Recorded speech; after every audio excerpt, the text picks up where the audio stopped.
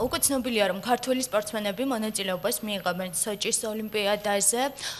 ამისთვის საქართველოს მადლობაც მიიღო ოლიმპიური კომიტეტისგან და ზოგადად როგორია თქვენი პოზიცია თუ აპირებს პრემიერი გაიმგზავროს სოჭი და დაესწროს ოლიმპიურ თამაშებს და თუ მიიღებს ბატონი პუტინისგან მიწვევას. მადლობთ.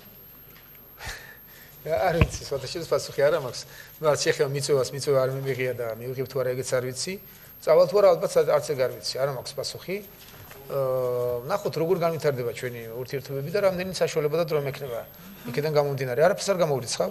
შესაძლებელია რომ წავიდე კიდეც, მაგრამ დღეს არ მაქვს საფუძველი რომ რამ კონკრეტული პასუხი გაგცეთ. რა კონკრეტულ გარემოებებზე ეს დამოკიდებული თუ აი ამ ეტაპზე თქვენი ხედვა ამასთან დაკავშირებით? მე ფიქრობ რომ აა დრო დარჩენილია თითქმის რამდენი 7 თვეზე მეტია, ხო?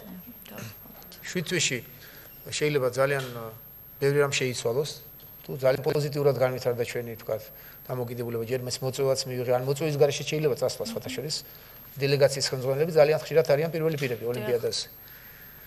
შესაბამისად ალბათ უფრო ახლოსში დავსვათ ეს შეკითხვა და უფრო კონკრეტულად გიპასუხებთ. მადლობა.